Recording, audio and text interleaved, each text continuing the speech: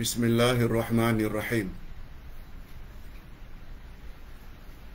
الحمد لله نحمده ونستعينه ونستغفره ونعوذ بالله من شرور انفسنا ومن سيئات اعمالنا من يهده الله فلا مضل له ومن يضلل فلا هادي له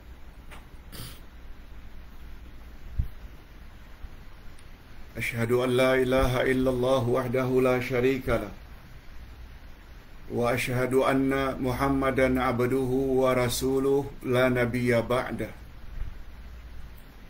اللهم صل وسلم على نبينا محمد وعلى آله وصحبه أجمعين أما بعد Hadirin dan hadirat serta para pemirsa yang saya hormati.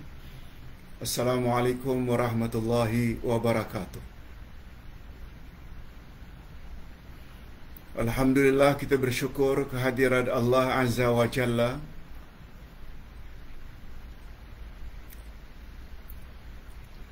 sebab Allah Subhanahu wa taala sayang kita kasih kita sehingga berpeluang untuk menambah ilmu agama. Menambah ilmu agama sangat mustahab itu sebabnya tajuk kuliah kita pada pagi ini bahaya jika jahil ilmu agama. Bahaya jahil ilmu agama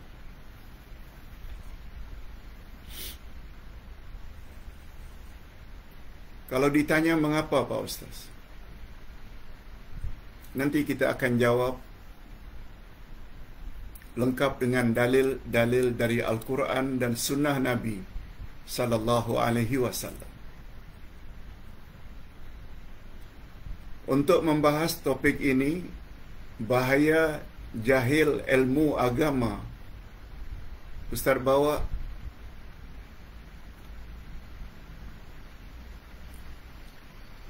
dua ayat dari surat Al-Kahfi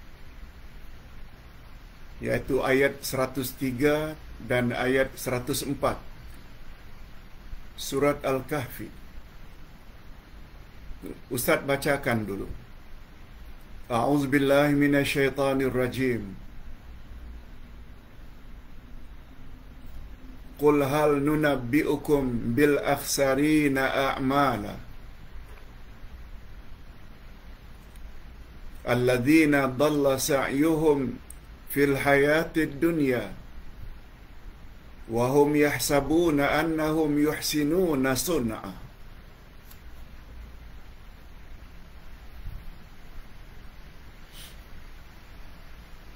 Artinya Katakan hai hey Muhammad kepada umatmu Allah Subhanahu wa taala suruh baginda Rasul katakan kepada kita selaku umatnya.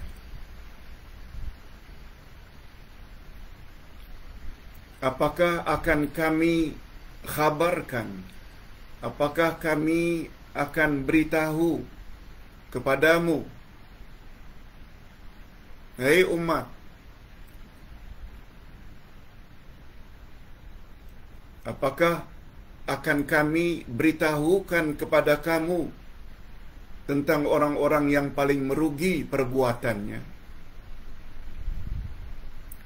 Lalu Allah Subhanahu wa taala jelaskan siapa mereka. Mereka ialah orang-orang yang telah sia-sia perbuatannya dalam kehidupan di dunia. Sedangkan mereka menyangka bahawa mereka berbuat sebaik-baiknya. Itu baru terjemah harfiah, literal translation. Apa tafsirannya? Sebelum kita sampai kepada terjemah maknawiyah atau tafsirnya, bagus juga kita tahu pendahuluannya, mukaddimahnya. Kita baca sedikit. Berdasarkan buku ini.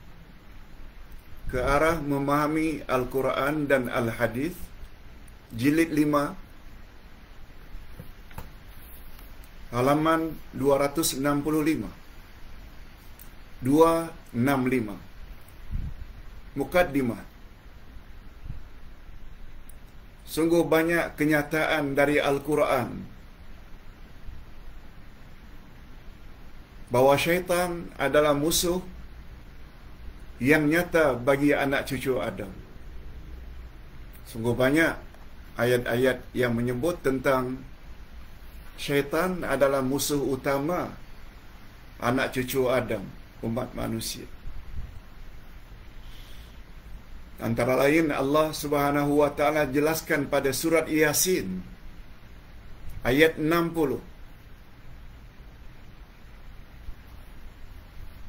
Allah berfirman Alam a'had ilaikum ya bani Adam alla ta'budu syaitan.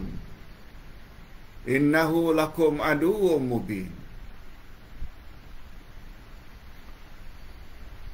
Bukankah aku telah memerintah kamu Hei manusia anak cucu Adam agar kamu jangan sembah syaitan? Agar kamu jangan ikut bisikan syaitan. Lalu Allah sebut Mengapa kita tidak boleh sembah Dengan makna tidak boleh tunduk? Tidak boleh ikut rayuan syaitan. Mengapa? Innahu lakum aduwwum mubin. Karena syaitan itu bagi kamu Hei umat manusia Adalah musuh yang nyata-nyata. Clear permusuhan kita umat manusia anak cucu Adam dengan syaitan tak boleh diragukan lagi. Itu sebabnya Allah gunakan istilah innahu lakum aduwwum mubin.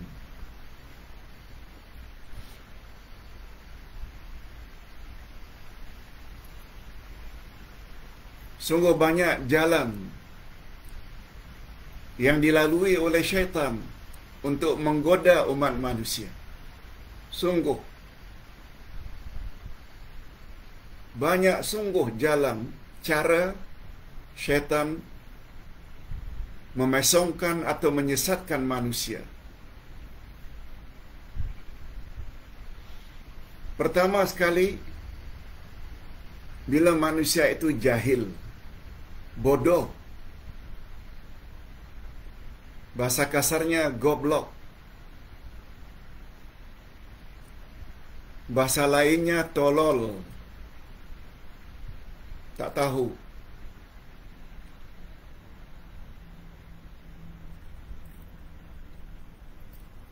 Cara lainnya cara syaitan menggoda manusia suka marah, panas baran, suka bangga diri, suka takabur, suka ria, suka ujub, suka dipuji dan disanjung, dan cara yang paling berkesan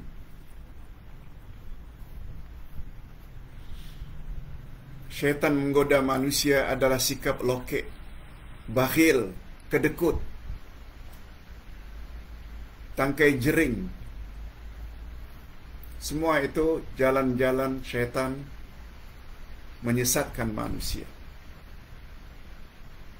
Tapi bila cara-cara tersebut kita senaraikan, ranking yang paling tinggi, cara mudah syaitan menggoda manusia adalah al-jahlu kejahilan tentang selok belok agama. Jahil tentang Allah. Ma'rifatullah. Jahil tentang Nabi. Ma'rifatun Nabi. Dan jahil tentang selok belok agama Islam.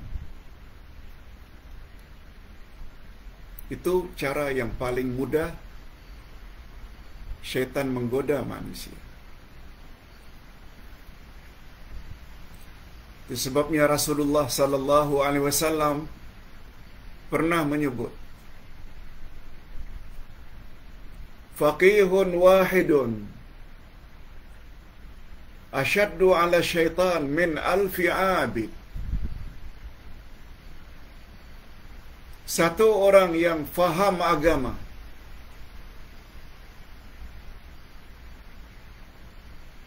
Faqih dari kata al-fiqhu Orang yang faham agama satu orang lebih ditakuti oleh syaitan daripada seribu orang yang banyak beribadat tapi jahil. Begitu kata Nabi. Hadis riwayat Tarmizi, Ibnu Majah dan Al-Baihaqi. Selanjutnya akibat kejahilan, kebodohan manusia. Akhirnya manusia hanya menyangka apa yang mereka buat di dunia ini bahwa mereka telah berbuat baik padahal perbuatan mereka itu sia-sia. Di sisi Allah, perbuatan mereka sia-sia. Ini sebagaimana yang telah disebutkan di dalam ayat di atas. Katakan, hai Muhammad, kepada umatmu, apakah akan kami beritahu tentang orang yang paling merugi perbuatannya,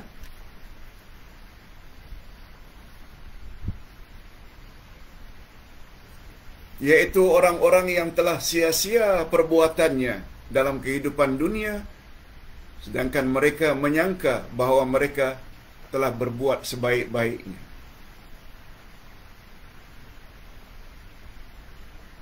Allah tanya kemudian Allah jawab sendiri. Itulah orang yang paling merugi. Hadirin dan hadirat bagus juga Ustaz tambah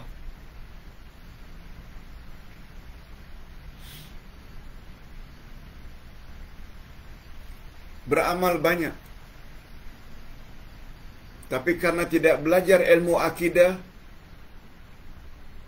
masih banyak lagi perbuatan-perbuatan syirik yang dia buat. Percaya pada ramalan bomo, pakai tangkal, percaya hari, bulan tertentu boleh membawa sial,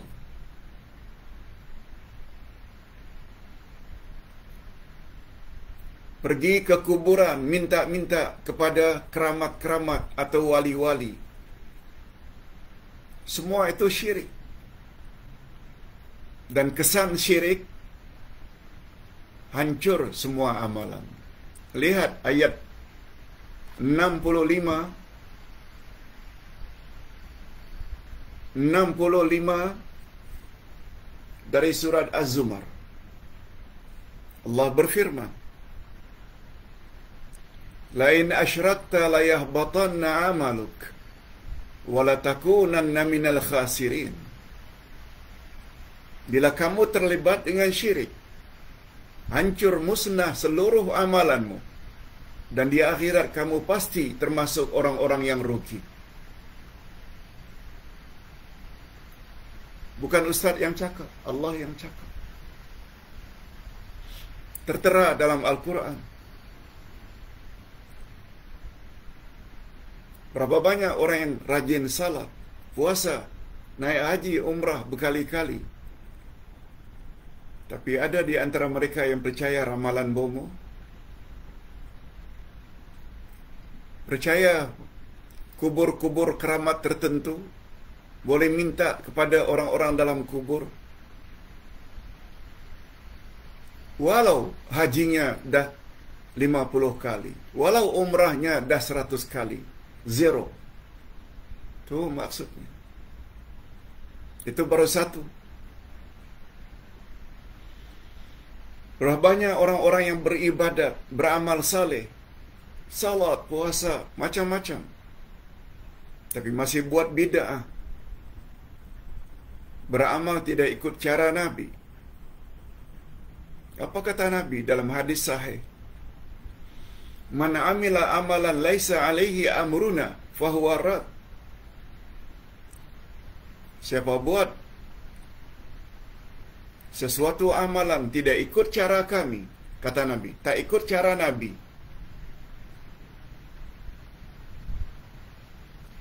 Bahawa amalnya ditolak.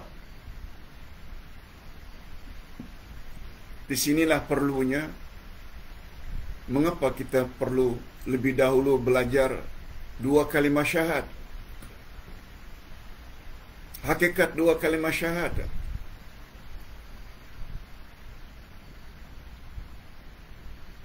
tidak mantap asyhadu an la ilaha illallah boleh terlibat dengan syirik tauhidnya rosak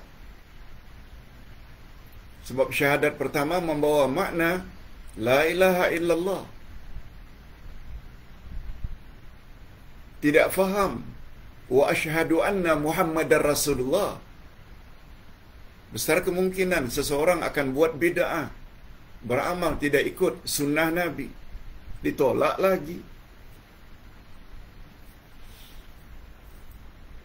Itu sebabnya Ustaz insya-Allah beberapa hari akan berada di Penang. Dari 22 23 sampai 24 akan berada di Penang untuk menjelaskan hakikat dua kalimat syahadat dan bahaya syirik ilmu tentang itu sangat mustahak.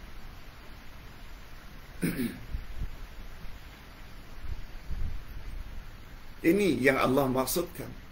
Katakan kepada umat Muhai Muhammad, apakah akan kami beritahu orang yang paling merugi amalan mereka yaitu orang-orang yang menyangka apa yang mereka buat itu baik Padahal tidak demikian. Amal mereka akan ditolak. Mereka di akhirat akan merugi. Bila beramal tidak ikhlas mentauhidkan Allah. Bila beramal tidak ikut cara Nabi.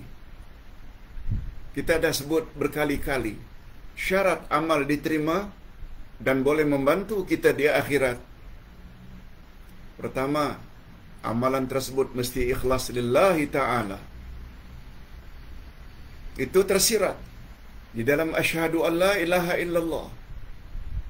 Ikhlas macam manapun lillahi ta'ala, masih ada kemungkinan ditolak amalnya bila ibadat itu tidak ikut cara Nabi Muhammad sallallahu alaihi wasallam itu pula tersirat di dalam wa asyhadu anna Muhammadar Rasulullah. Okey. Cukuplah itu sebagai mukaddimah. Sebenarnya Ustaz ingin sampaikan yang itu tu. Yang paling utama. Okey, sekarang kita ingin bahas bahagian berikutnya. Ilmu agama.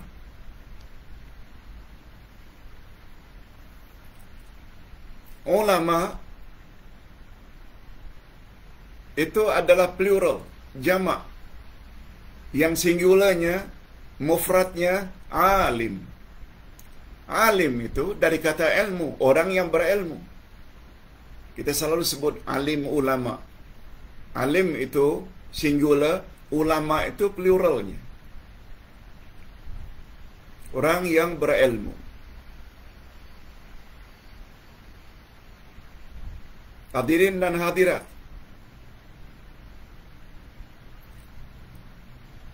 orang yang benar-benar ulama dia sangat takut pada Allah.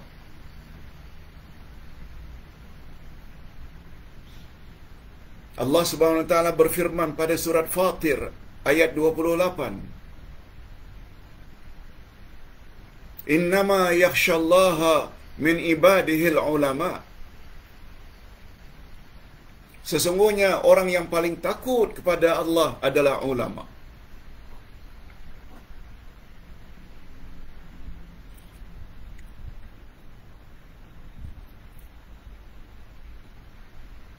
Tapi ada juga ulama yang tidak takut kepada Allah, Pak Ustaz. Dia sampaikan ajaran Islam suka-suka hati. Sekedar pelipur lara. Mengharap sanjungan orang ramai. Mengharapkan gelak ketawa orang ramai. Tapi tidak selektif dalam penyampaian kebenaran ilahi. Islam ini agama milik Allah yang disampaikan kepada kita oleh Rasulullah. Rasulullah menjamin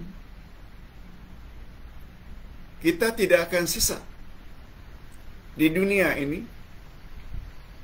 kalau kita ikut Quran kalamullah dan hadis Nabi kalamur Rasul. Sabda baginda Taraktu fikum amraini in amsaktum bihima lam tadillu abada. Al-Quran wa sunnati. Aku tinggalkan dua pedoman untukmu wahai umat. Selagi kamu berpegang teguh, kamu tidak akan sesat selama-lamanya, yaitu Quran dan sunnahku.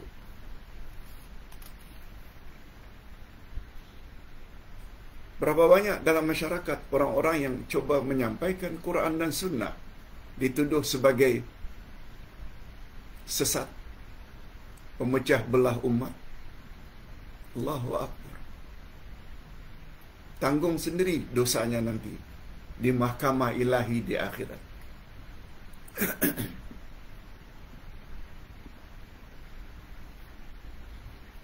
Ciri-ciri orang yang takut kepada Allah bila dia punya dua rukun iman yang paling utama. Iman pada Allah dan iman kepada hari akhirat. Sebabnya dalam penyampaian agama Islam,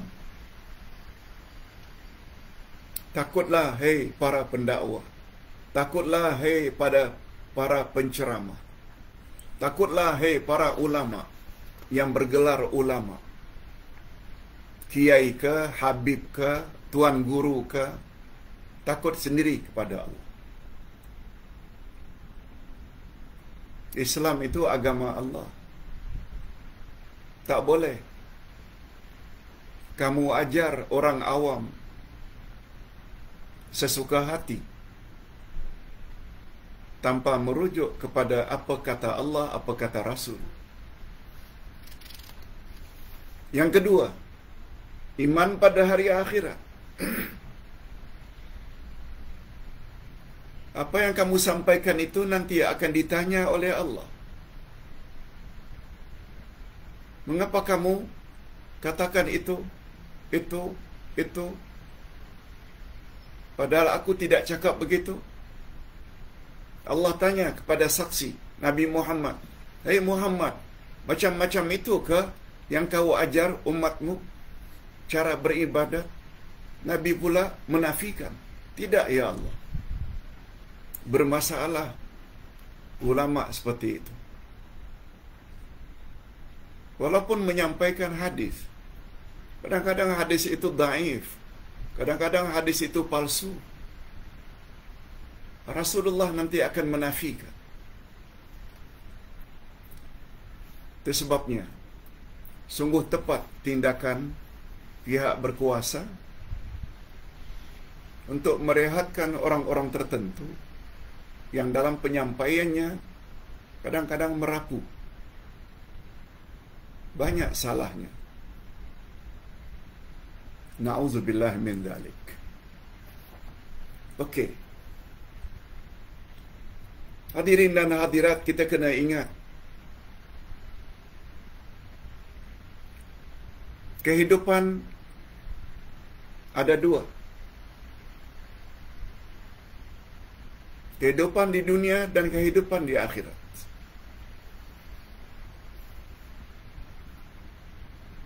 Kebahagiaan di akhirat sangat tergantung dengan amal yang kita lakukan di dunia. Sebagaimana hadis Nabi. Walaupun hadis itu dinilai daif. Ad-dunya mazra'atul akhirah. Dunia ini adalah kebun akhirat. Di dunia kita bercocok tanam, hasilnya kita petik di akhirat setelah kita mati. Cuma kata ulama hadis, walaupun hadis ini derjatnya daif, lemah, tapi maknanya betul.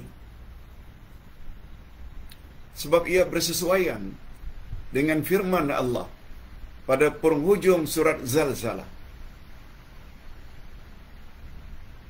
فَمَنْ يَعْمَلْ مِثْقَالَ ذَرَّةٍ خَيْرًا يَرَهُ Siapa yang berbuat kebaikan walau sekecil zarah walau sekecil atom maka amalannya itu kelak akan diperlihatkan kepadanya di akhirat nanti dan selanjutnya dia layak menerima pahala ganjaran balasan. Wa may ya'mal mithqala dzarratin syarran yarah. Siapa yang berbuat jahat, buruk,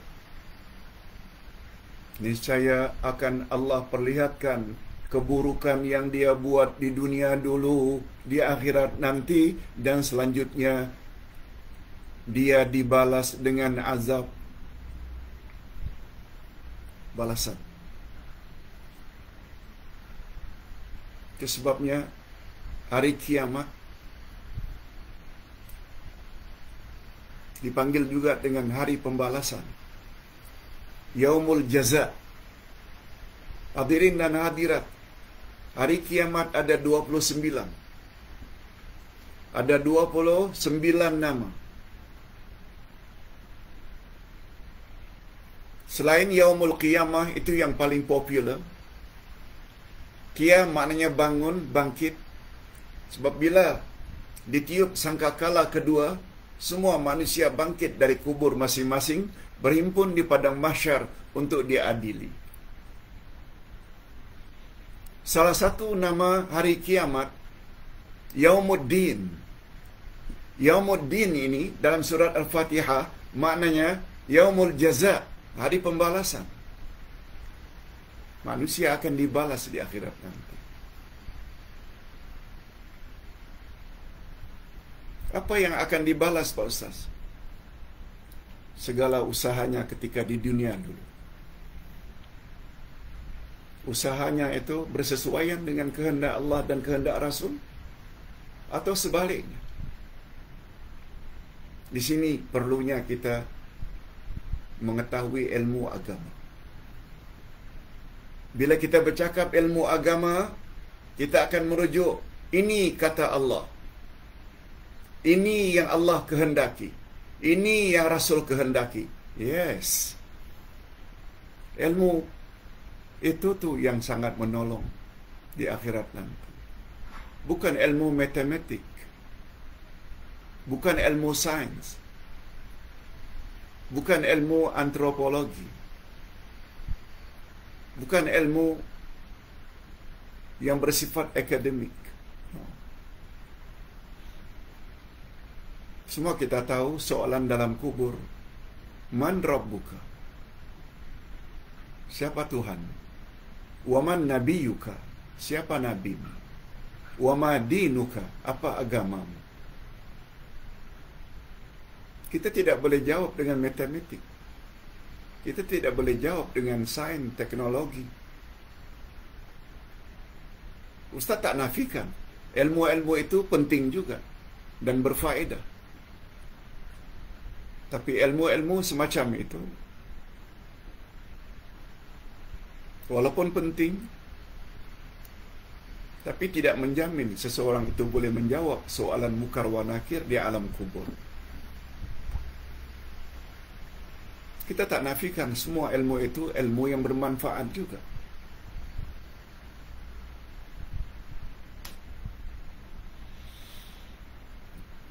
Pembahagian berikutnya pembahasan berikutnya kita diperingatkan jangan ikut langkah-langkah syaitan.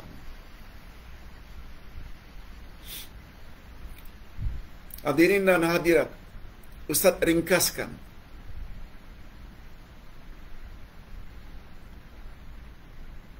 Kata ulama tafsir,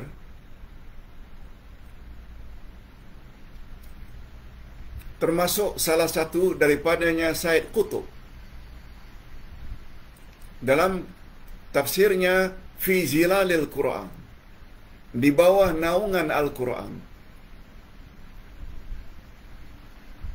Satu tafsir yang cukup terkenal fi zilalil Quran.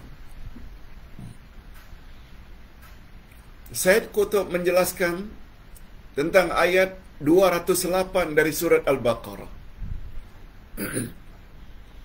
yang kata beliau jalan di depan kita ni ada dua saja. Jalan depan kita ni ada dua saja. Jalan A, jalan B.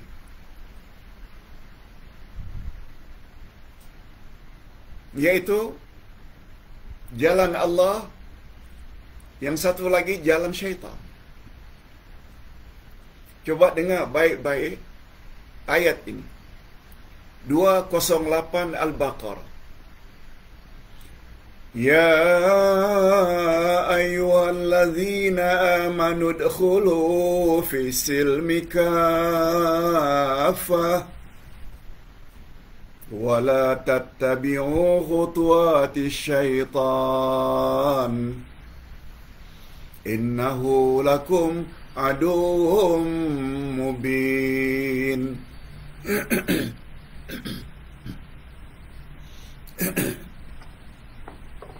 maaf Bismillah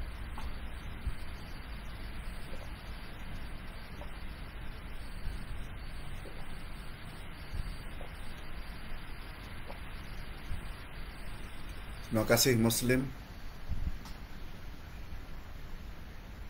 Terima kasih Pak Ustaz kerana banyak memberi pencerahan. Semoga Ustaz diberi kesehatan dalam penyampaian ilmu. Terima kasih Muslim. Ini namanya ilmu. Sebagaimana kata salafus salih, Al-ilmu ma qala Allah wa ma qala Rasul.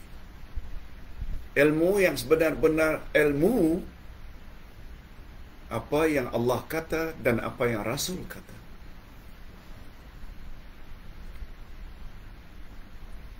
Perkataan Allah semuanya hak. Sebab Allah tak pernah salah. Perkataan Nabi juga tak pernah salah khasnya hadis-hadis yang sahih. Sebab Nabi maksum.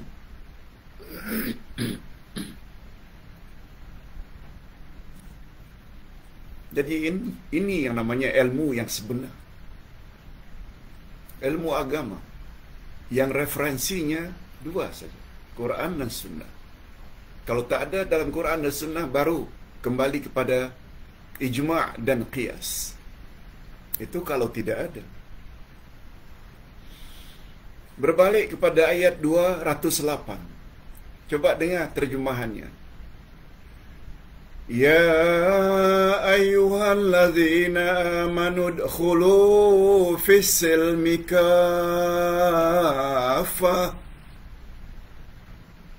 Hei orang-orang yang beriman, masuklah kamu ke dalam Islam secara menyeluruh kafa secara komprehensif. Kafa secara syumul. Menyeluruh makna kafa.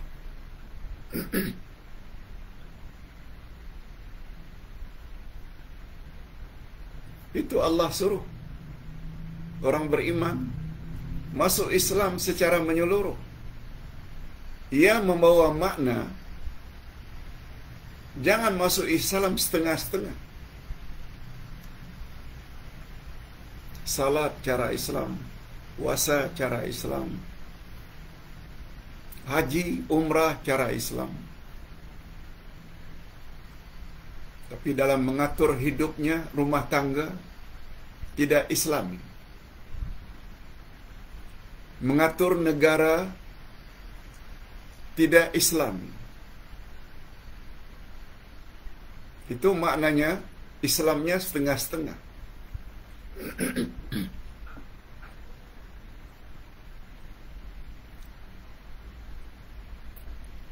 Setelah Allah suruh kita masuk Islam secara menyeluruh, langsung Allah larang.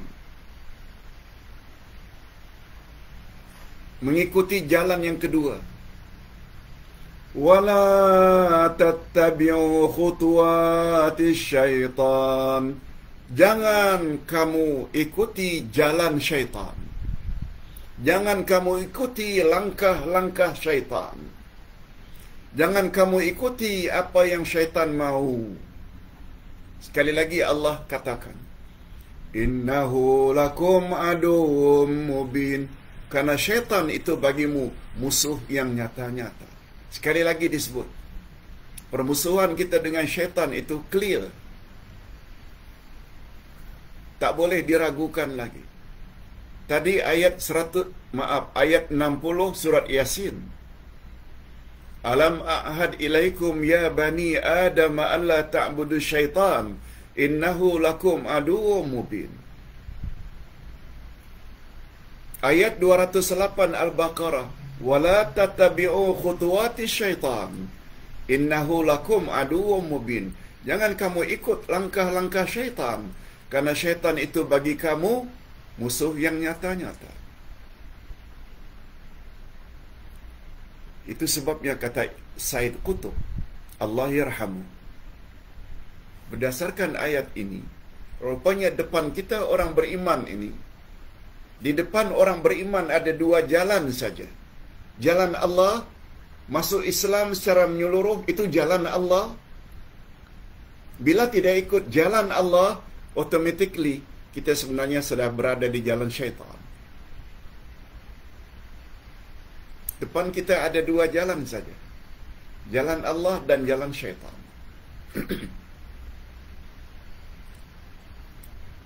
Make your choice. Buat pilihan. Nak ikut jalan mana? Hidup yang sementara ini. Jangan terlalu terpengaruh dengan kekayaan.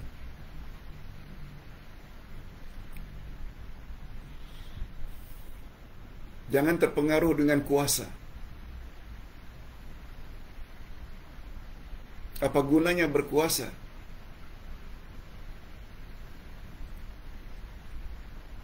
Kalau kekuasaan itu kita lebih cenderung kepada melayan kehendak orang-orang kafir daripada kehendak Islam.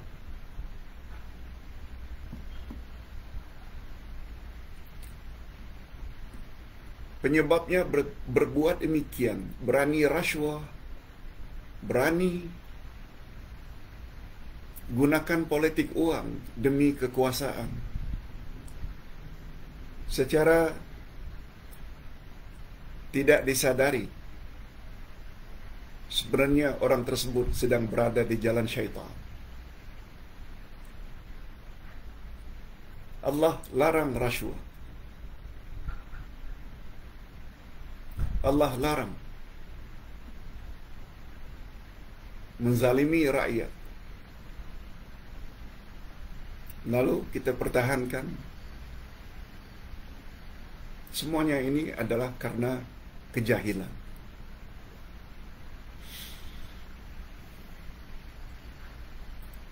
Hadirin dan hadirat rahimakumullah. Ingat makna syaitan itu adalah melawan Allah.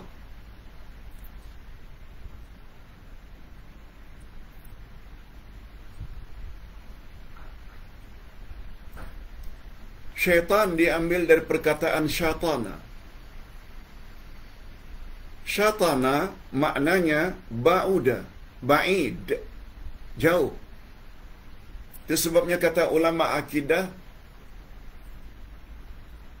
dinamakan syaitan itu syaitan karena makna syaitan ba'idun anil haq segala yang menjauhkan kita dari kebenaran syaitan lah itu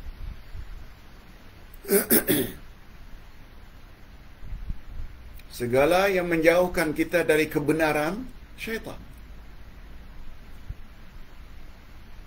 Kalau ditanya kebenaran itu al-haq datang dari mana Pak Ustaz? Kebenaran itu datang dari Allah. Segala yang datang dari Allah adalah benar belaka. Tak percaya? Lihat ayat 1, 4, 7. 1, 4, 7. 147 Al-Baqarah. Apa kata Allah? Al-haqqu min rabbik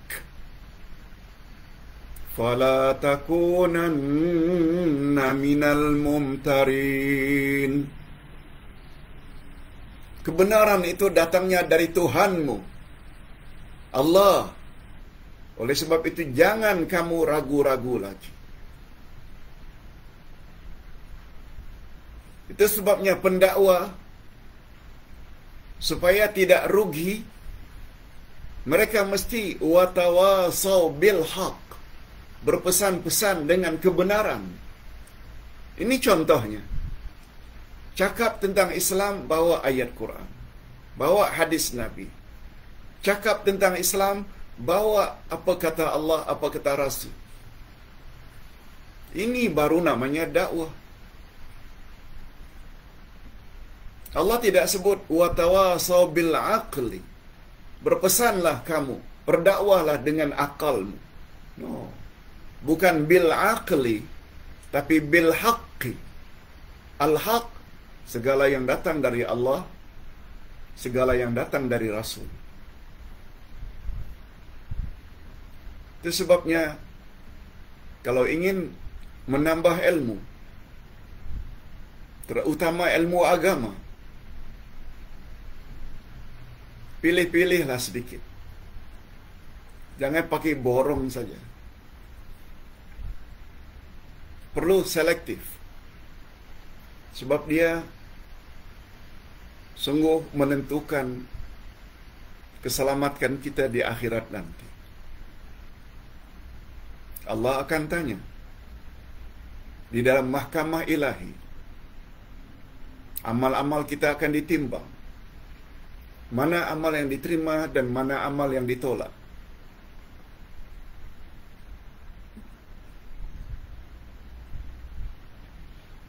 Hadirin dan hadirat kembali kepada persoalan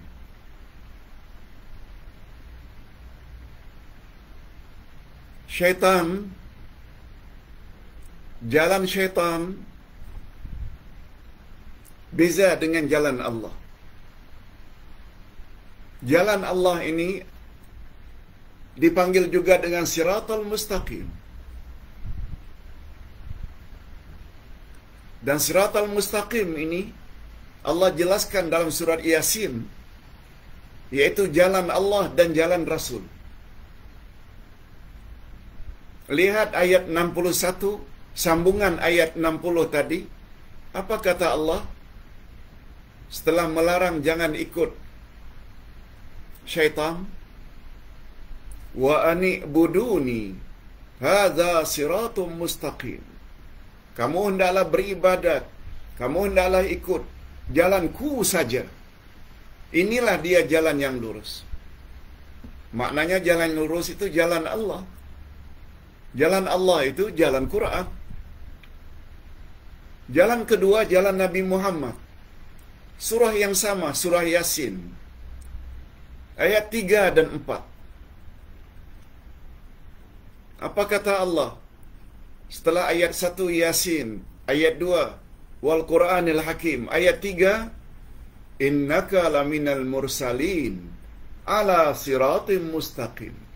Sesungguhnya engkau hai Muhammad adalah rasul yang benar-benar diutus pembawa jalan yang lurus. Dalam surat Yasin Allah dah sebut jalan lurus itu adalah jalan Allah dan jalan Rasul.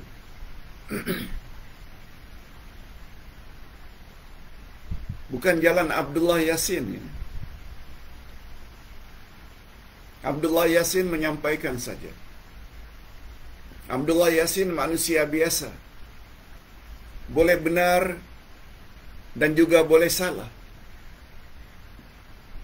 Tapi jalan Allah tak pernah salah. Jalan Rasul tak pernah salah.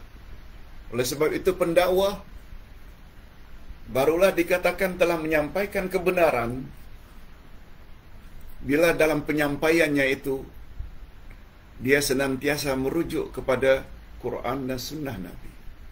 Ini hakikat ini sangat mustahil. Itu baru namanya ikut jalan Islam, ikut jalan Allah.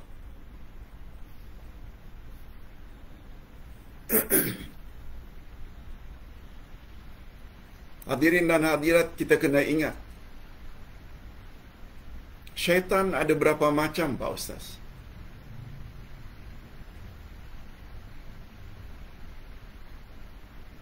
Jawabnya dua. Coba lihat ayat 112. Surat Al-An'am.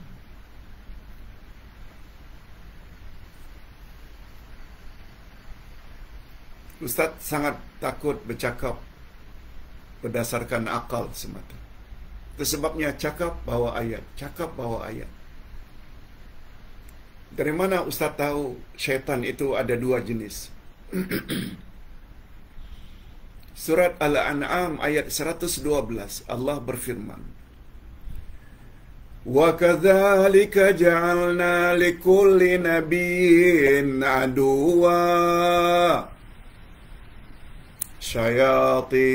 insi wal jinni Demikianlah Allah telah jadikan setiap nabi itu ada musuh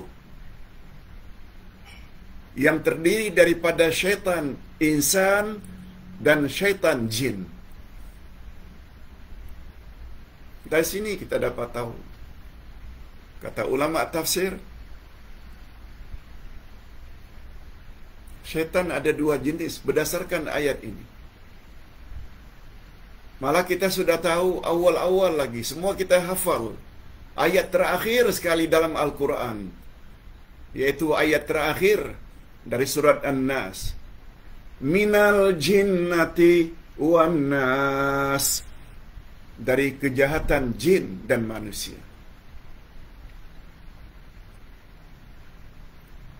Itu sebabnya syaitan, ada syaitan jin, ada syaitan manusia. Cuma sedikit penjelasan kata ulama tafsir. Di dalam Al-Quran senantiasa jin disebut dahulu. Baru insan. Kalau ditanya mengapa?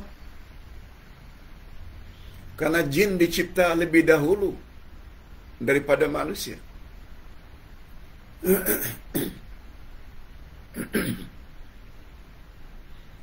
Setelah Adam dicipta, Allah suruh iblis agar sujud pada Adam.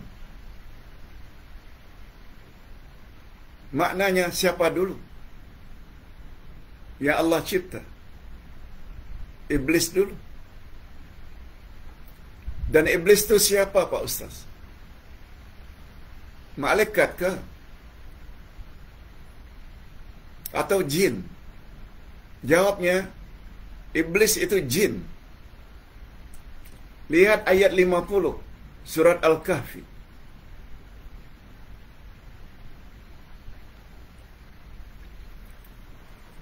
Allah Subhanahu wa taala berfirman Usjudu li Adam fasajadu illa iblis kana minal jinni fafasaka an amri rabbi Sujud kamu sekalian kepada Adam. Semuanya sujud kecuali iblis. Adalah iblis berasal daripada jin yang durhaka terhadap perintah Tuhannya.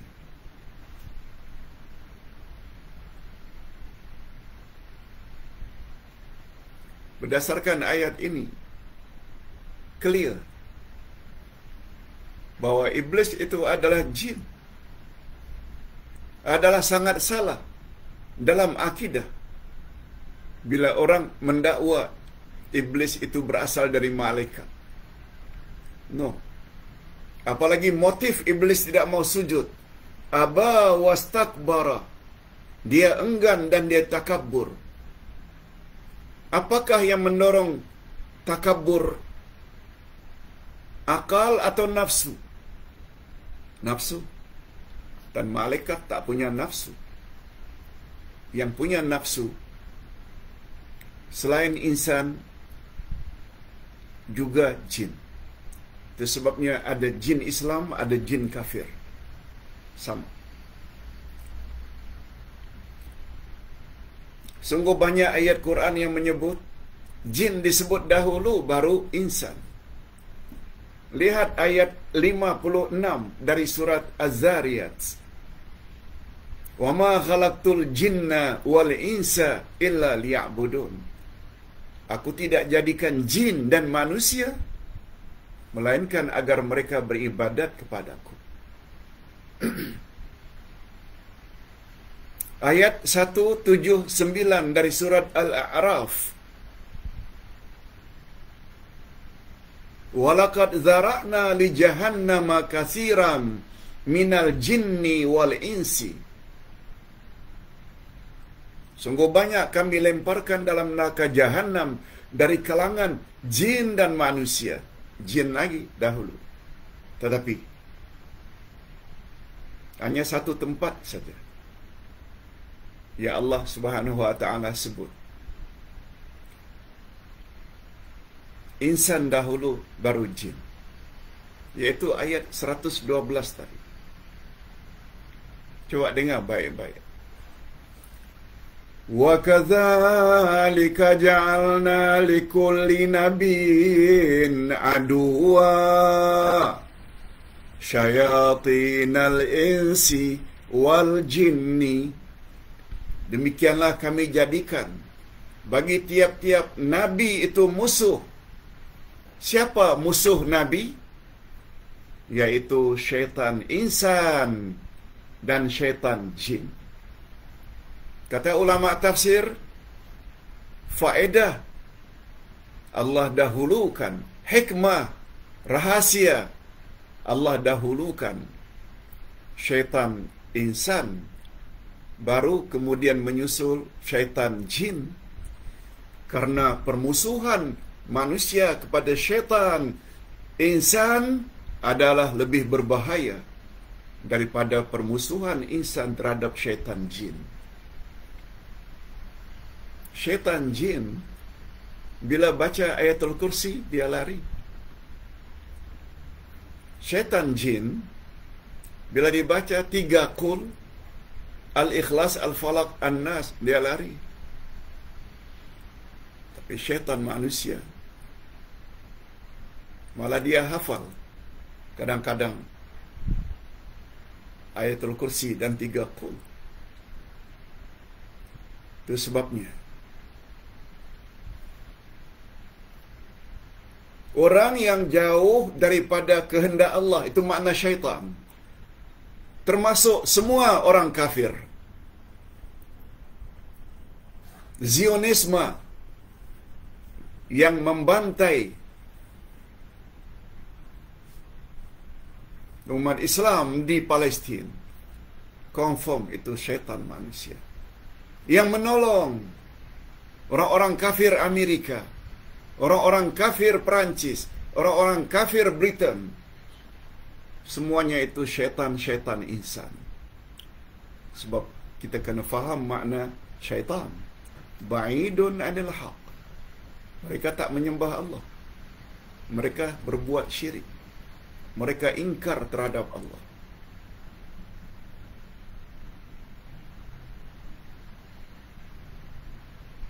Begitu cara kita memahami Al-Quran.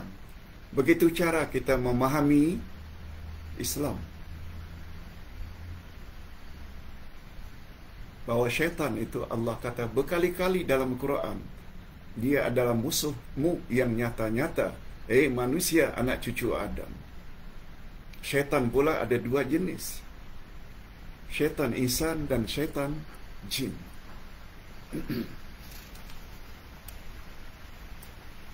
Itu sebabnya tidak ada jalan lain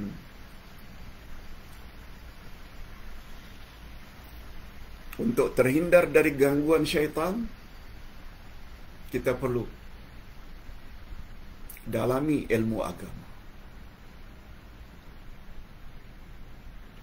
Belajar jangan pada ustaz saja. Banyak ilmu. Ni alim ulama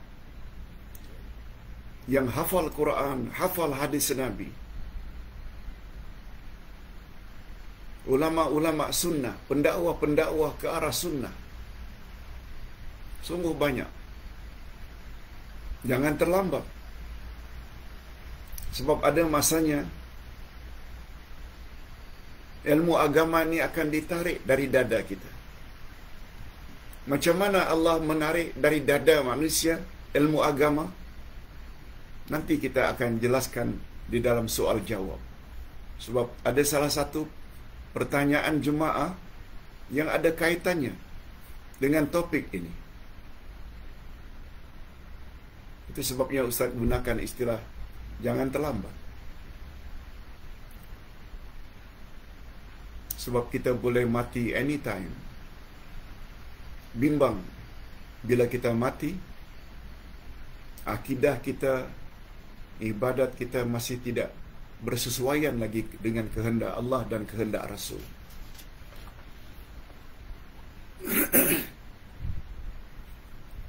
Itu sebabnya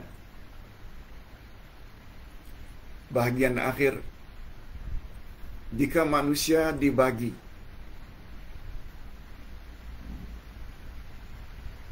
berdasarkan ilmu terutama ilmu agama, manusia terbagi empat. Menurut Al-Khalil bin Ahmad,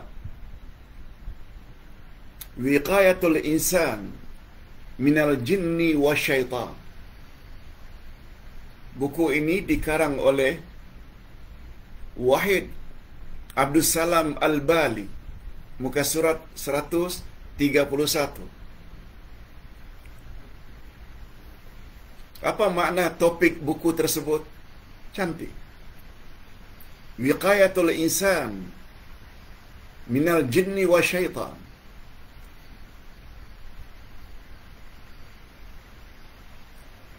Melindungi manusia daripada gangguan syaitan. Macam mana caranya? Wiqayatul insan minal jinni wa syaitan. Macam mana cara manusia terpelihara daripada gangguan syaitan. jika manusia, kata beliau, jika manusia dibagi berasaskan ilmu, maka manusia terbagi kepada empat golongan. Pertama, orang yang tahu dia itu tahu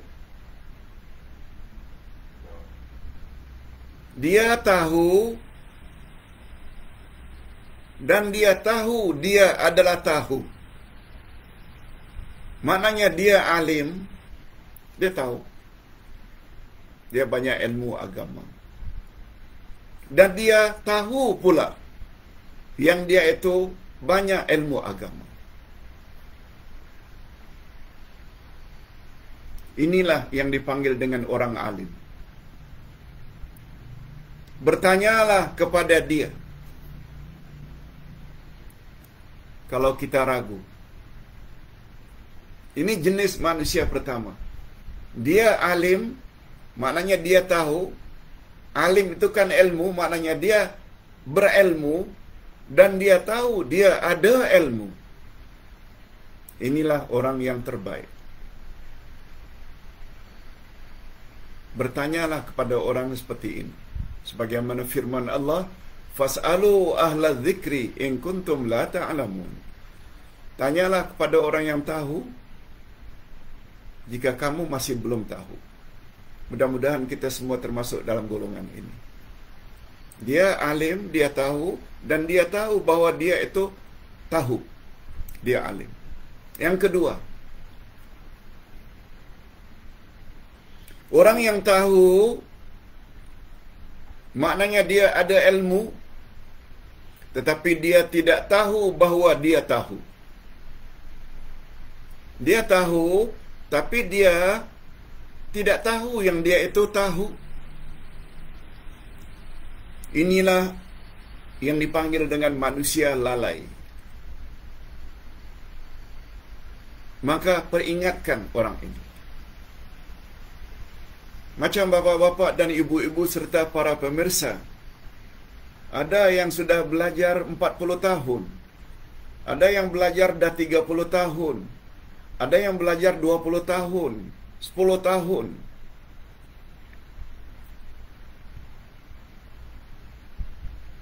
Tapi ilmu yang dia miliki untuk dirinya sendiri saja. Atau dia sendiri tidak amalkan apa yang dia tahu. Dan dia tak mau sebarkan. Tidak mau share ilmu yang dia miliki pada orang lain.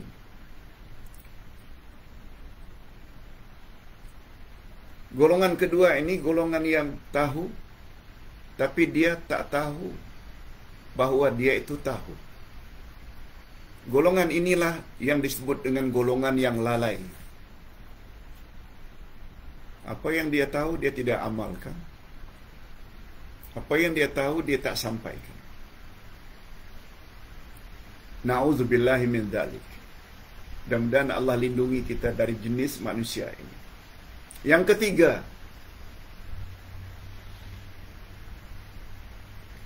orang yang tidak tahu, dia tidak ada ilmu. Dan dia tahu bahwa dia tidak tahu.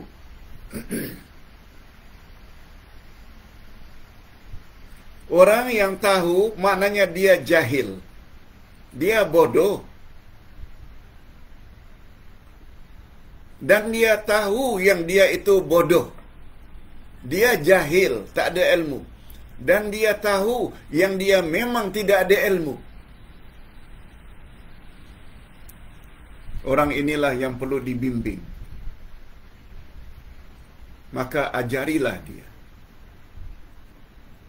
Mungkin banyak dari kalangan para pemirsa, bapa-bapa dan ibu-ibu yang sedang dengar ini merasakan kita banyak tidak tahu tentang urusan agama, maknanya jahil. Dan kita orang berkenaan juga tahu. Sudahlah dia tak tahu, jahil. Dia sendiri tahu dia itu jahil. Orang macam ini perlu dibimbing. Orang macam ini sepatutnya rajin ikut kelas. Rajin dengar tazkirah, ceramah, kuliah walaupun secara online. Itu sebabnya terhadap kelompok ketiga ini Ustaz layan jika mereka tanya. Sebab mereka merasa mereka ragu-ragu tentang sesuatu lalu bertanya, yes. Mudah-mudahan para jemaah termasuk ke dalam golongan ini. Kita banyak tak tahu tentang agama. Ustaz selalu gunakan istilah ada di antara kita yang balighnya umur 60 tahun. Yang dulu sibuk dengan dunia-dunia. Tak belajar ilmu agama. Baru terjumpa kelas seperti ini umur dah 60. Umur 65. Umur 70. Ini yang Ustaz maksudkan. Baru balik umur 70. Barulah beramal ibadat dengan betul. Tak mengapa. Sebab Ustaz selalu berpesan. Innamal a'mal bil khawatim. Sesungguhnya amal yang perlu paling menentukan setelah awak mati adalah amal yang terakhir. Jadi kita lengkapkan selagi hayat di kandung badan. Walaupun lima tahun kemudian meninggal dunia, walaupun tiga tahun meninggal dunia, tapi kita berazam untuk banyak tahu. Nah, yang terakhir yang keempat. Golongan ini golongan yang paling berbahaya. Orang yang tidak tahu maknanya dia jahil dan dia sendiri tidak tahu yang dia itu tidak tahu. Dia jahil dengan hal-hal agama tetapi dia sendiri tak tahu yang dia itu tidak tahu. Akhirnya sok sendiri. Belagak macam orang tahu. Inilah orang yang jahil. Orang-orang seperti ini perlu dijauhi. Sekali lagi kita berdoa mudah-mudahan kita termasuk ke dalam golongan yang pertama. Paling kurang golongan yang ketiga. Kalau kita tahu bahawa kita jahil dan kita tahu bahawa kita memang jahil. Hadirin dan hadirat rahimakumullah, ini dulu yang dapat Ustaz sampaikan. Mudah-mudahan bermanfaat. Dan Ustaz